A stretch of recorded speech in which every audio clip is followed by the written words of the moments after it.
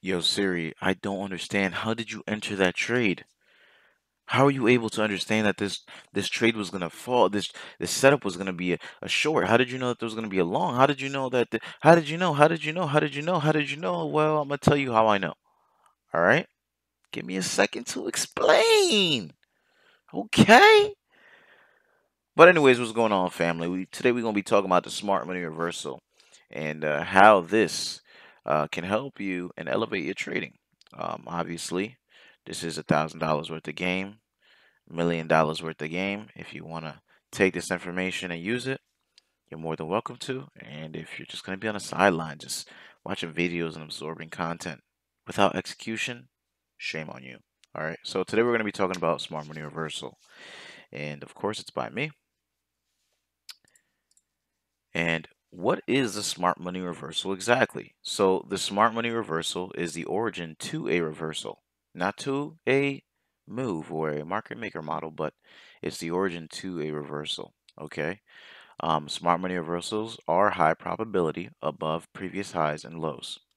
All right. So, if, meaning that if price is going above a previous day's high, previous week high, monthly week high, and the bias or the narrative is that you know price is supposed to see lower prices. Uh, let's say we're in premium and you know you have somewhat of an idea that price is going to go to discount well it, it is your job to anticipate a smart money reversal if that bias that you have built is opposite so for example like like the same scenario that we're talking about right now if price is in premium and then i'm like all right i'm waiting for this high to be taken but I'm expecting lower prices because there may be an imbalance on the daily time frame.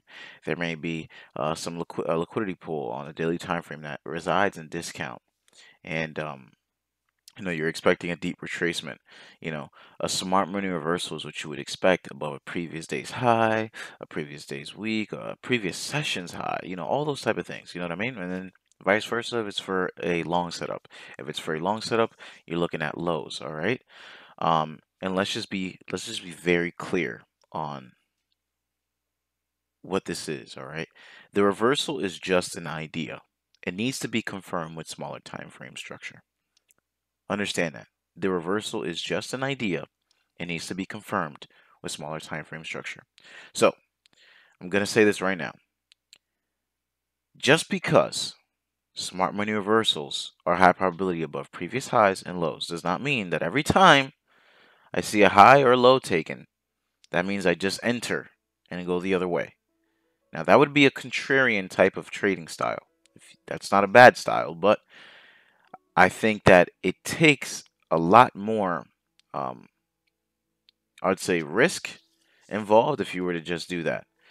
But this is why we wait for certain confirmations on the smaller time frame, and then we proceed to go ahead with the, with the trade. We, we, we with these confirmations, let's say you you build an idea for yourself. Let's say you may have a different rule, but the thing is, for me, there's certain rules that I have on the smaller time frames that need to happen before I say, okay, this is a short, or okay, this is a long. Okay, I'm gonna enter here. A couple things need to happen before I get to that point. A lot of people just wanna, oh, I see the I see the original consolidation. I'm above a high. We just took out this high. I'm a short. That's not how it works. It's not that simple. If it was that simple, we'd all be rich. It's not that simple.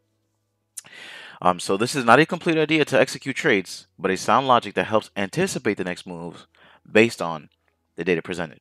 So if the data says short, okay, if the data tells you the market structure shift has occurred, the shift in market structure has occurred, um, you know what I'm saying? The change of the state of delivery has occurred.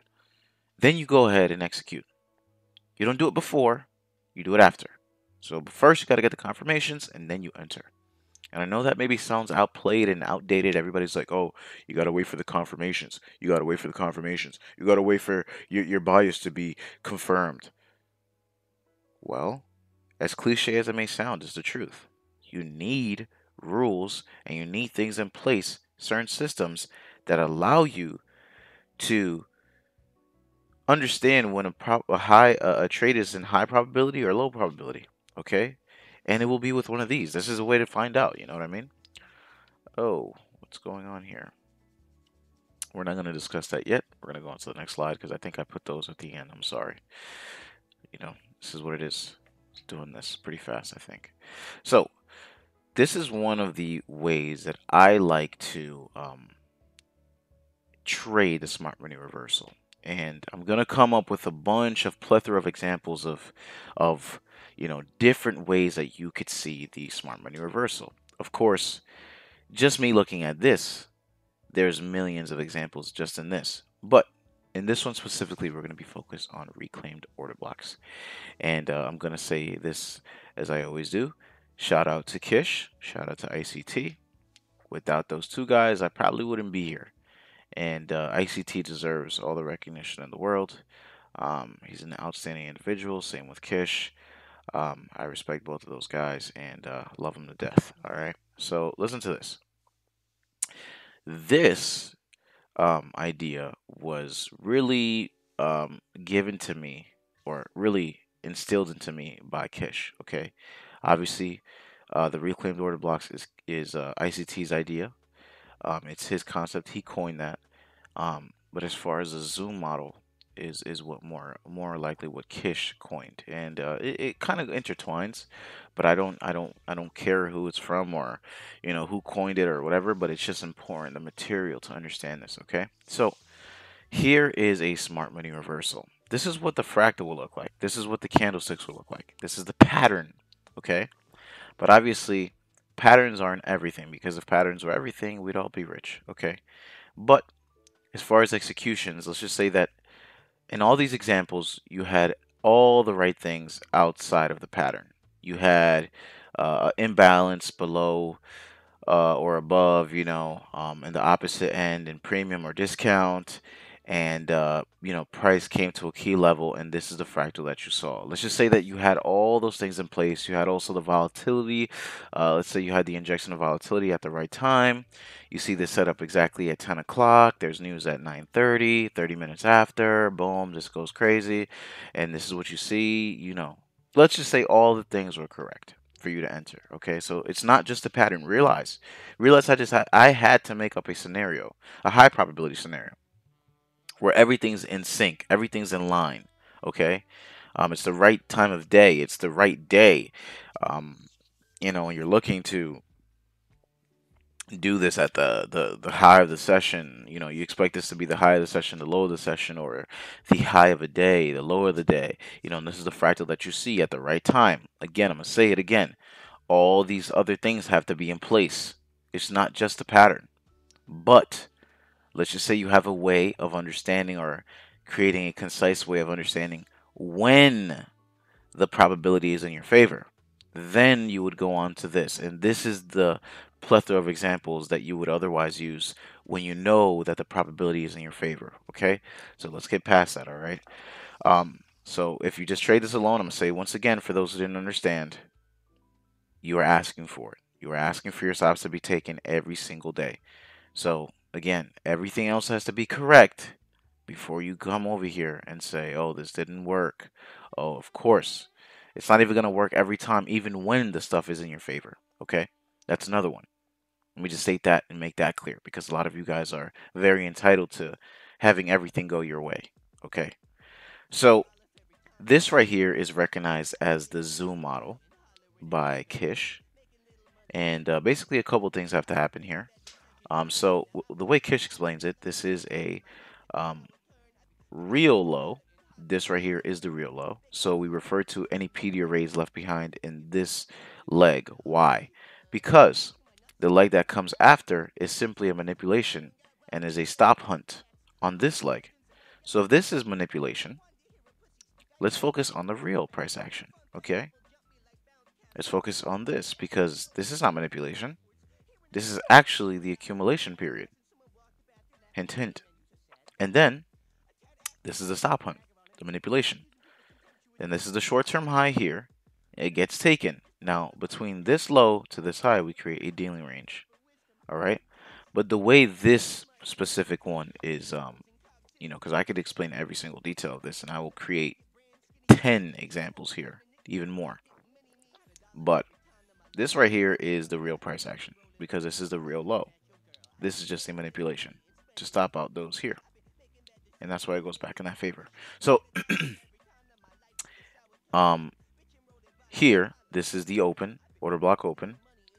Notice how when we come here in the manipulation phase, we come here and then we have this large candle, up candle, and it closes above the opening price of this order block right here. Okay. Then we have this immediate rebalance on the next candle. So how do you how do you anticipate this, or how do you enter, or how do you know that you're correct, or let's just say what's the confirmation here? Okay. So there's a couple confirmations, but for this specific example, um, I would consider the reclaimed order block or the zoom model entry a little more. Um, well, I wouldn't say the zoom model entry because the zoom model is actually an understanding, but as far as the reclaimed order block, um, all you really have to do is simply wait for the stop hunt. So the stop hunt occurs here, and you see the real low here, the order block left behind. So you refer to this order block here, and this is the order block open. Okay.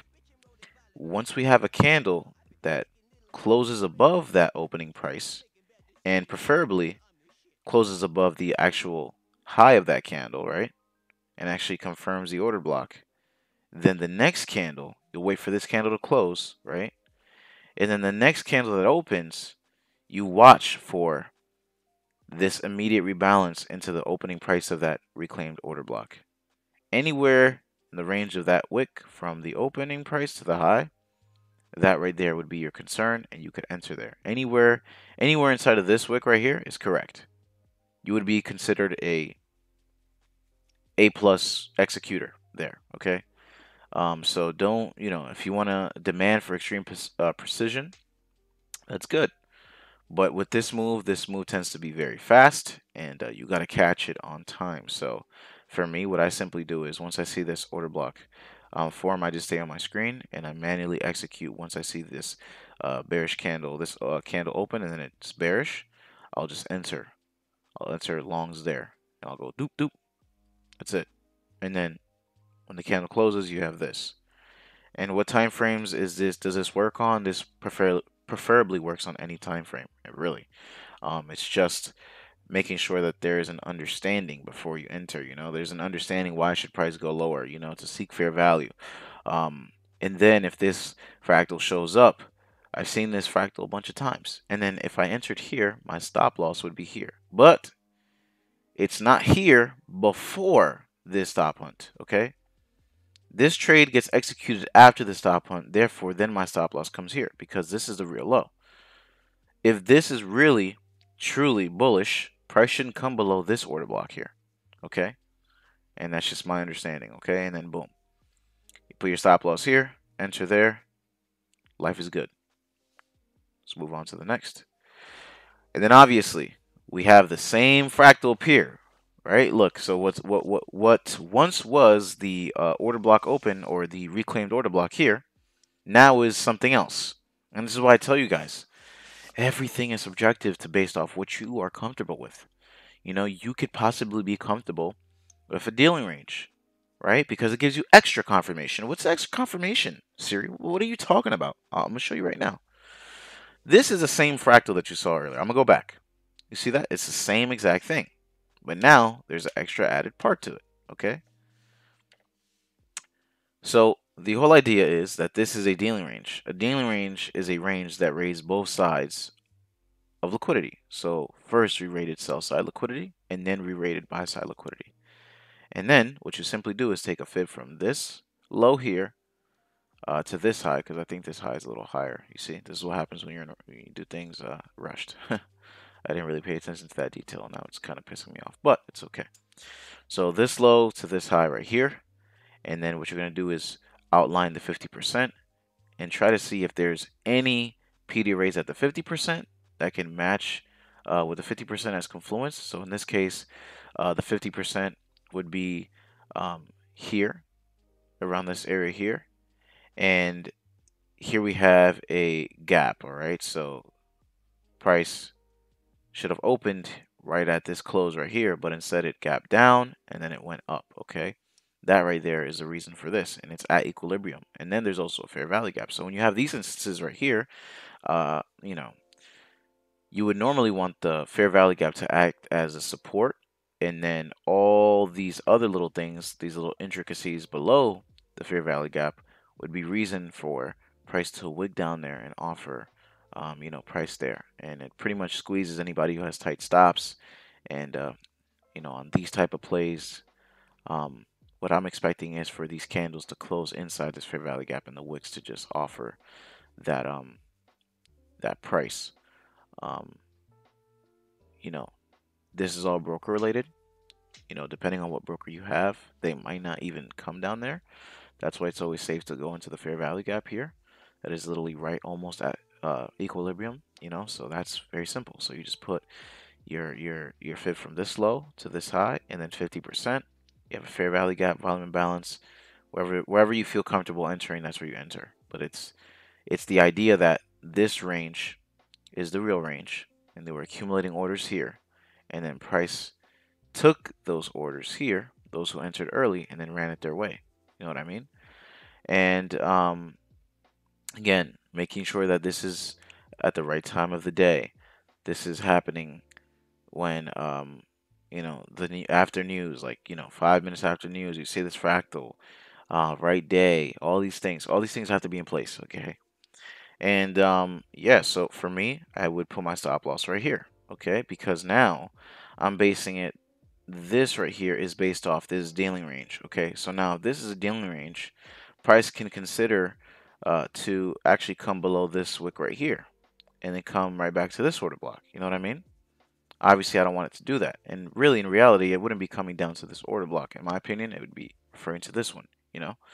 Um, now, if it goes below this right here, this is where it's considered wrong. But if you wanted to be more passive with your stop loss and you wanted to allow price to develop and uh, formulate its range, you know, inside the range and things like that, um, I'd put the stop loss here if you want to be safe. Um, this is more uh, risk, um, you know, risk adverse, meaning that um, I'm going ahead and trying to add more risk on uh, like uh, well increase my position with the same type of risk.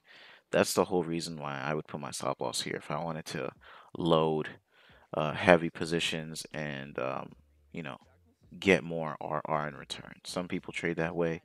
Me personally, if my stop loss was here or here, I would increase my uh, volume because it's the range between these lows is fairly insignificant. Okay, unless you're on a daily time frame where this is like 50 pips. But then again, still insignificant according to the daily time frame. Okay, so we're on to the next one. Okay.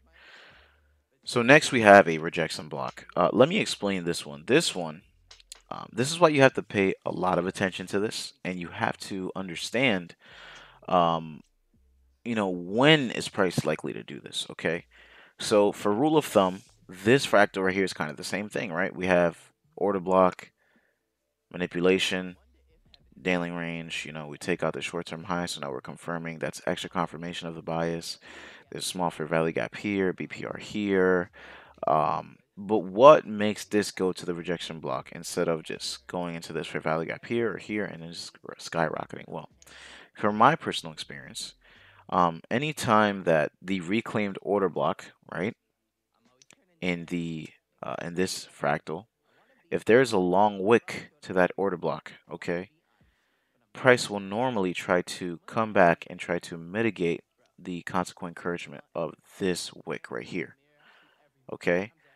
This is a reclaimed order block. It could be used as a reclaimed order block. So, like, for argument's sake, if, like, somebody wanted to enter at the opening price of this, they can. But, because there is this wick, they would have to, you know, um, put their stop loss below this wick here and I would even be, uh, you know, I would recommend that you put it down here because it could embody this entire wick and just wick and then go all the way back up. Um, but normally, 50% uh, is kind of, you know, the consequent encroachment is a rule of thumb here. So anytime you see an order block with a large wick above it or below it, expect the 50% of that wick to be mitigated or at least the uh, opening price or closing price, okay? So that's very important for you guys to understand, okay? Um, so here we have this rejection block, large wick, what do we expect for price to come down there? And this is what happens. You know, 50% gets hit here, and then you enter long stop losses are here, and TPs are anything above this here. Okay. And uh, just so you guys could understand what an efficient range is and what an inefficient range is, okay? So normally, um, I use this rule of thumb, and this is coming out of all these things are coming out of my personal model and how I trade and how I see the market, my perspective. Um, if I see a leg, okay, if I see a leg that's efficient, and what makes a leg efficient, you know? So I think sometimes all these words get thrown around uh, the community, and a lot of people don't understand. Um, they actually don't understand what these things mean, and uh, you know it's okay uh, sometimes to not even know. You know what I mean? But um, when you gain experience and you've been doing this for a while, you'll know when when a range is efficient, uh, when a range is inefficient. Okay. So for this specific example, we here have a efficient range. Okay. So what does that mean? Okay. So I'm starting to see that there is a leg, right? This leg expands higher, leaves an imbalance behind, price comes back down, fills that entire imbalance or that void and then comes down and then rebalances it and then goes back the other way and then we leave another imbalance behind then we rebalance this so to me every time that I see a a price leg where there has been rebalancing done that to me is efficient. Um, does it mean that the entire trading range is efficiently traded? No. But in this case with this specific example everything is okay? Um, normally we'll have the, we'll have a case where uh, there's an imbalance left in discount, and prices runs runs runs runs runs runs runs higher, and of course you know above that fair value gap, um, there's efficient pricing. Okay. So either that fair value gap at that time is a breakaway gap, or it's used as a measuring gap, or it's um, used as a breakaway gap in the meantime, but then price may consider to redeliver to that fair value gap for fair value purposes. Okay, so which is one of the things you have to be mindful of. All right, so what's the point of me talking about efficient ranges? Okay, so an efficient range, so a range that has been efficiently traded. Like let's let's say we had this range here before um, the smart money reversal came upon. So let's say the original consolidation was right here, and then this was an efficient leg. Okay. And then let's say that the high was right here above these letters right here, okay? So I'm expecting the fractal to be here. So I already see the reclaimed order block, and then I see price going through the manipulation. So this is the real high, this is the manipulation or the fake high, and then I would want to see some sort of breakdown. And uh, if you're using the reclaimed order block, you're going to want um, price to close below this opening price, and preferably even below this wick. But in my in my case, I would just want the uh, opening price there and then we have a displacement away and then price comes back as like a, a uh, immediate rebalance that's a lower sell and then your stop loss is above here and then boom we're going down okay? If you want extra confirmation you want the break of this low for the dealing range 50% this range right here will take both sides uh, took buy side and then it's going to take sell side here and then boom okay? I could already see this happening before before it happens and i can anticipate it okay?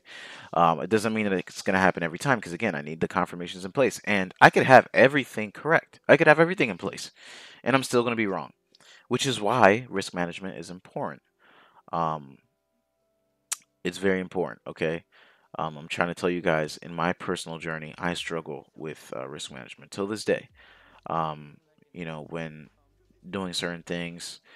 Um, and I think everybody does, but I'm getting to that point where, uh, you know, I'm get I've been in a point where, or in a stage where I feel sometimes too confident, and so we have the mistake of over leveraging uh, sometimes just because we want to grow accounts fast, and whether the case is that it's a small account or a demo account doesn't matter. That will lead to um, problems in the near future when you're trying to go for these funded accounts and these challenges. Okay, so bear in mind that you practice. How you play how you practice. Sorry. Okay. Uh, so, anyways, for an efficient range, this needs a market structure shift or a shift in market structure. So, shift in market structure, you want this low to be taken. Okay. Obviously, the highs are rated, liquidity levels taken. You want this to be took, and then there's like a fair value gap left behind, 50% dealing range. Boom, call it a day, and you're good. Okay. That's what you want, okay? But this needs a shift in market structure, or for some of those people who call them market structure shifts, whatever the case is, this needs a shift in market structure, okay? Period. Um, because this is um, an efficient range, okay? This is different. All this needs is a change in state and delivery. So you notice the difference between these legs, right? This is efficiently traded.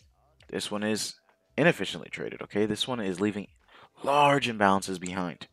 So how is this delivery going to be different? Well, this delivery does not need a market structure shift or a shift in market structure. Why?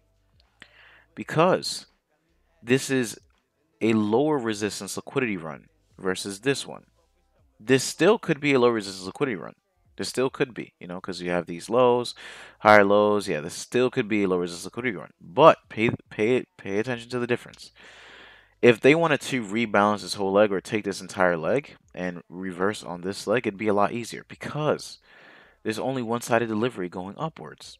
So what do I need for this one? And this one is very simple. All I need is for um, up close candles to be rated. So like I, I wanna if I wanna trade this, all I need is an order block formation. You know what I mean? A confirmation of an order block, and then anytime price retraces into this order block, I go short. It's that simple. All right. But this is a lot different because this has one-sided delivery. So price would, would, would want to seek this one-sided delivery and offer the other side to officially trade this range. So this should be quick and full of speed, aggression, um, and these type of trades tend to um, be very quick.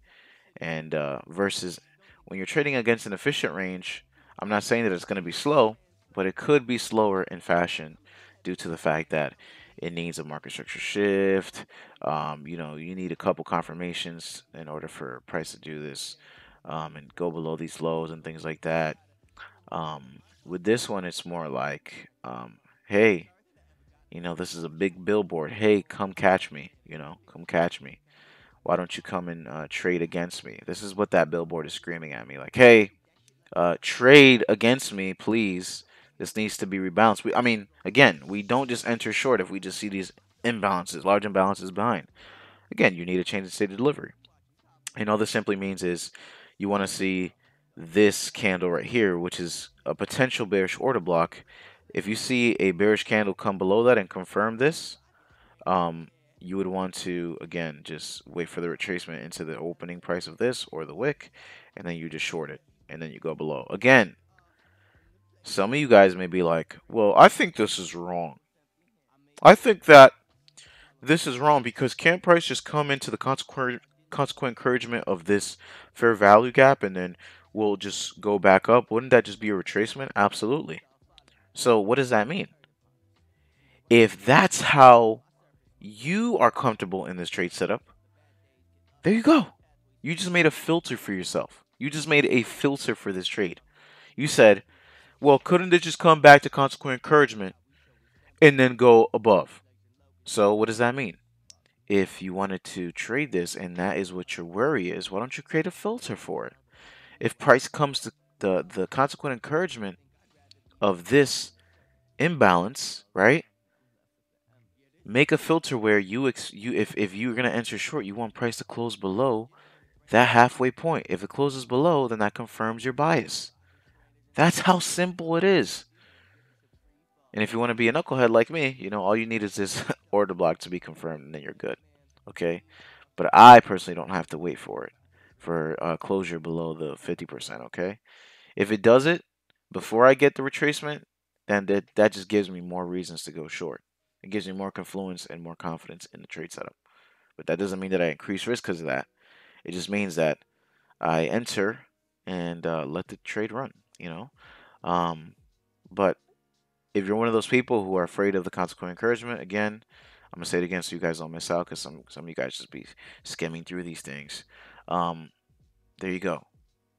Wait for a price to close below the halfway point of this imbalance, and then that would confirm your bias for uh, shorts. Okay, and then any retracement into um, any type of imbalance left behind on the way down is the way that you would enter and execute. And uh, I would say the order block open also should be your best friend here in this uh, scenario, okay? So now let's go into uh, examples, okay? Um, obviously, this is a um, zoom model, and uh, you know this is also all the examples and things that we talked about here, okay? Um, what's funny is, before we even get to this, I think I had more examples here, didn't I? There we go. Yeah, I know, I knew it. All right, my fault. So then there's also this, guys. This is his last one. Um, price took out the sell side liquidity, took out the buy side liquidity, and there is, uh, you could treat this as a breaker. And um, that's a way to, uh, well, this is the, the way I think that most traders know it by and how they trade the smart money reversal. But there's a lot of ways to get in before this happens, okay? You get in here. Um, you could even get in here, but that takes a lot, uh, a lot more skill. Um, but of course, this is what it is, okay? So um, the breaker is something I don't really have to go over, so you know what I mean. So anyways, this is the zoom model. And um, not only is this a zoom model, this is also the breaker. You know, you could use this order block, I mean this breaker block right here. Use it there. You have this price holding on to that.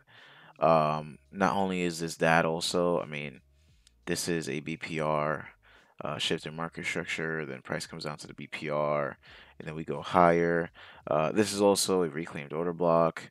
Uh, this could also be a freaking rejection block, uh, you know, theory.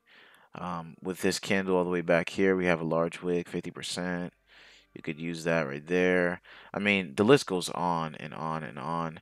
This is also a daily range, uh, you know, low, high, 50%, BPR, reclaimed order block, boom. Okay, like this is crazy. It's that simple. All right. And then notice how um, this is taken in June 24, 2022. Just to show you guys, this high does not uh, this high does not house liquidity. So like you see how I understand this, like a long time before uh, I showed you guys on the previous video of the market maker. If you guys been watching the videos in order, um, you see this high does not house liquidity. So I'm looking for the low resistance liquidity runs, you know, equal highs, uh, you know, liquidity rest here, you know, you know what I'm saying? There's no um, higher high here. This is all failure swings and prices keeps going lower. So and there's a small imbalance there. You know, this is this is what I this is what I've been doing for a while now. So it's not a coincidence that you're seeing work uh, from possibly eight months ago um, still being used today and explained today. So again, I've, I've, said it before. All these things that I use and talk about um, are things that I personally use, and it's not something that like, oh, you know, I know this information, so let me just teach it. No, it's literally things I use, and uh, of course, you're not gonna pull every single tool out of the toolbox to trade every single setup. That's not the case, but you do want to um, utilize uh, certain tools at certain times um, because it, it just it just helps you understand where the market is. You know, it just helps your anticipatory skills. You know what I'm saying? And this is why I say these things are just all concepts. All right. Um, any system that you go with or trade with, the only real thing it should really do is make you feel comfortable while risking. Let me say that again. A model or any type of entry is a pattern, anything. The only reason people really use it is because it makes them comfortable at risking. Because if you didn't have that pattern, you would be comfortable. You wouldn't be comfortable trying to trade and open a trade and, you know, put some risk on. Okay? So all these concepts are simply ways that I like to view the marketplace. And it helps me form an edge. Because that's exactly what it is. All right. And then obviously this is the picture that you guys saw earlier. Um, I mean, these are things that I've said before. Uh, you know, this is uh, order blocks at equilibrium. You could find that video in my channel. Um, and how we use sessions and use the equilibrium as important price points, the high and the low. Uh, obviously, you see here this is a reclaimed order block price. Obviously, this is the real low. Price takes out this. This is all manipulation And then once we get a closure above this, and then we also have a BPR here, um, this just, for me, is a market structure shift. Uh, price comes back down into that opening price, and look how we respect it here. After the stop hunt has occurred, not before. So, otherwise, you know, I wouldn't enter this trade if there was no stop hunt. So there's a stop hunt below this low. That's all I'm asking for. It happens here. Then we come right back above it. And then look at this. Look how price is respecting that line. All right, we're closing above this BPR here. Uh, I mean, this fair value gap. Then once we leave it, it becomes a BPR. And then when we come back down to it, it just acts like a brick wall. Okay, and confluence added with this opening price here. Blue line, blue line, boom. And then you see everything after that forms after becomes a brick wall for prices just to continue higher. Uh, order blocks below a high, fair value gap, boom, go along. So, again, these things are not random. Um, you know, you could use this to your advantage, uh, but these are things that uh, we've been using um, over there at uh, the currency merchant group. Okay, the currency uh, merchant group, uh, 1v1 pilot uh, group. Um, so, yeah, guys, that's pretty much it. Um, I pretty much don't have nothing else to talk about. Uh, sorry this one took a little longer to release. I mean, I've I've been pretty consistent, I can say, uh, and I continue to plan. I plan on continuing this consistency, um, you know, to keep, you know, you know, informing you guys with education, knowledge. Knowledge is power. All you know. So I'm gonna help you guys out, and I'm gonna continue to post this content because I want to grow this community. You guys think it's possible for us to hit 50,000 subscribers this year? Um, you know, leave a leave a leave a comment, and, and if you watch through this entire video, I know you're a real one, and I want you to leave a comment on how you think it's possible for us to achieve 50,000 subscribers this year. Um, I think it's definitely possible, and anything that I believe is possible is um, already done, right? We already hit 50,000 family. We already hit that, all right? And uh, now it's just all about executing and making sure that we become the person that gets to that 50,000, all right? Um, and um, again, I'm always on Telegram, um, all that stuff, you know, Twitter, Instagram, all that stuff is in the bio. Um, I don't use my Instagram as much as the other ones, uh, for those who are wondering. But um, you know, you guys can go ahead and message me on my Telegram. That's the most easiest and the most consistent way of reaching me. Um, and I'm gonna help you guys out. Any questions you guys have, I'm gonna help you guys out. All right. Um, I want to thank you guys all for uh, embarking with me in this journey and uh, walking this journey with me. And uh, of course, expect more videos. I um I'm gonna make a um a uh I plan on making a rags to riches series where I'm actually showing my face, you know, um, and I'm talking about my process and uh, where I'm at right now in my current stage. And I want to be very transparent with you guys on where I'm at in my stage. And I know it doesn't matter, but it's just um, the only reason I really want to do it is so you guys can see, you know, for myself, I want to see my you know, previous days where the days where I wasn't as consistent as I want to be. Um, and I'm still learning and building rules around my model. But, um, you know, versus when in the future I look back and I say, wow, all that work paid off. All that time spent after work, um, coming home late and still getting on the charts late just so I can, you know, learn and, and and observe what I've been doing wrong and and right and you know this is the journey. You know what I mean? Um this is you know we're all trying to get out of this rat race. Um but yeah guys I don't want to hold you guys too long um we're about to hit that 40 minute mark um in just about a second. So um again I want to appreciate you guys for always tuning in and uh, shout out to my real ones out there that are always coming out and uh, showing love, support, and, uh, and if any guys, if any of you guys were to start a channel and uh, are starting to create content, um, I would be more than happy to share everybody what's going on with your personal journey. So let's help each other grow. Let's help each other evolve into these uh, profitable beings. And uh, I wish you guys nothing but the best. Um, it's been your boy, and as always, peace. I'm out. All right. Take care.